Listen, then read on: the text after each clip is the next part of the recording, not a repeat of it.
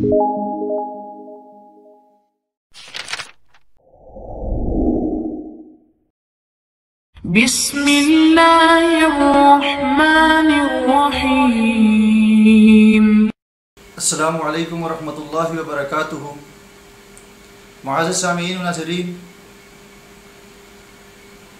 हम हसन विलाग से फ़ज़ाइल रमज़ान के हवाले से एक नए हदीस के साथ आपके सामने हाज़िर हैं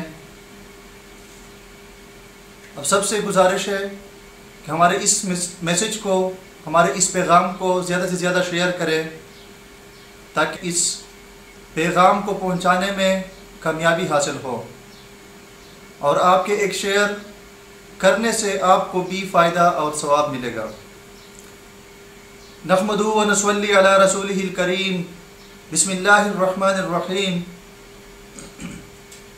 हुजूर सल्लल्लाहु अलैहि वसल्लम का इरशाद है कि ख़ुद हक ताला शानहू और उसके फरिश्ते शहरी काने वालों पर रहमत नाजिल फरमाते हैं। हुजूर सल्लल्लाहु का इरशाद है कि ख़ुद हक ताला शानहू और उसके फरिश्ते शहरी काने वालों पर रहमत नाजिल फरमाते हैं। किस कदर अल्लाह जल्ल का इनाम व एहसान है कि रोज़ा की बरकत से इससे पहले काने को, जिसको शहरी कहते हैं, उम्मत के लिए सवाब की चीज़ बना दिया और इसमें भी मुसलमानों को अजर दिया जाता है। बहुत सी अहादीस में काने की फजीलत और अजर का ज़िक्र है। अलामा आइनी रहमत ने सत्रह सहाबा से इसकी फजीलत की हदीस नकल की है और इसके मुस्तहब होने पर इजमा नकल किया है। बहुत से लोग काहली की वजह से इस फजीलत से महरूम रह जाते हैं और बाज़ लोग तरावी पढ़ कर काना का कर सो जाते हैं और वो इसके सवाब से महरूम रहते हैं। इसलिए कि लुगत में सहर उस काने को कहते हैं जो सुबह के करीब कहा जाए। जैसा कि कामूस ने लिखा है, बाज़ ने लिखा है कि आधी रात से उसका वक्त शुरू होता है।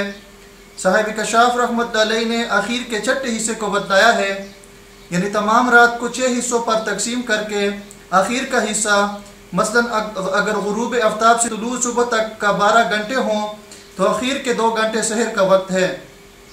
और इनमें भी ताखीर उला है। बशर्त यह कि इतनी ताखीर ना हो कि रोज़ा में शक होने लगे, शहर की फजीलत बहुत सी अहादीस में आई है। बस मेरे भाई दोस्तों, अजीज़ों, अल्लाह जल्ल ने हमें मुख्तसर ज़िंदगी अता फ़रमाई है और इस ज़िंदगी में हम हम अल्लाह जल्ल शाह के अहकाम नबी पाक सल्लल्लाहु अलैहि वसल्लम की तरीके के मुताबिक इस ज़िंदगी गुजारेंगे तो हमारी आखिरत की और हमेशा रहने वाली ज़िंदगी संवर जाएगी और चैन सुकून और खुशी वाली बन जाएगी। अल्लाह जल्ल हमें इस पैगाम को अमल करने की और दूसरों तक पहुँचाने की तोफ़ी अता फ़रमाए शुक्रिया व आखिर दवान अलहमदिल्ला रबीआलमीन बरहमत या